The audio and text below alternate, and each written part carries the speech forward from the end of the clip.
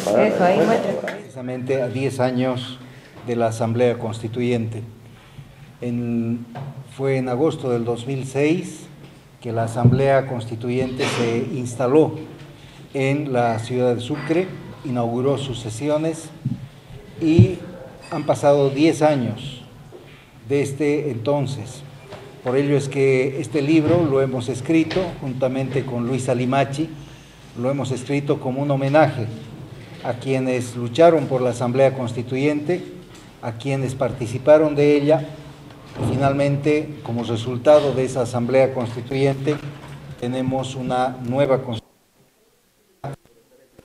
plurinacional, comunitario y con autonomías, como indica el artículo primero de la nueva Constitución Política del Estado.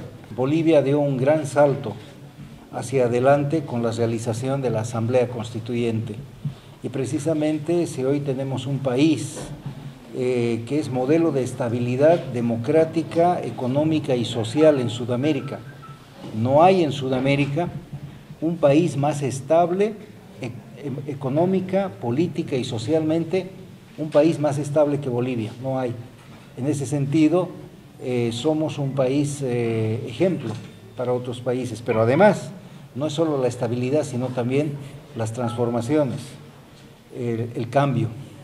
Creo que eso está mostrando que eh, la Asamblea Constituyente nos ha permitido lograr estas cosas.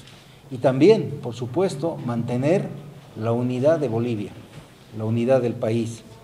Eh, creo que en ese sentido el balance que podemos hacer de la Asamblea Constituyente a 10 años de su realización es eh, absolutamente positivo. Viceministro, ¿qué decir de aquellas, de aquellas voces opositoras que manifiestan no se ha respetado el tiempo que se debería para poder tomar el pulso a la aplicación de la Constitución en sí? Porque a pocos años se ha visto ya un referéndum de modificación para postular una o ver una repostulación del propio presidente, digamos.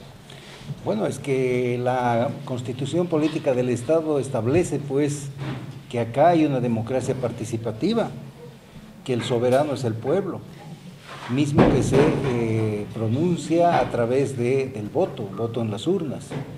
Y la constitución política del Estado prevé también la posibilidad de reforma constitucional vía referéndum.